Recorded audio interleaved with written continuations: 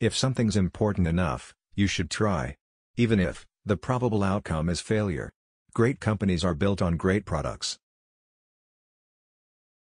Interested in things that change the world or that affect the future and wondrous, new technology where you see it, and you're like, wow, how did that even happen? How is that possible? The problem is that in a lot of big companies, process becomes a substitute for thinking. You're encouraged to behave like a little gear in a complex machine. Frankly, it allows you to keep people who aren't that smart, who aren't that creative,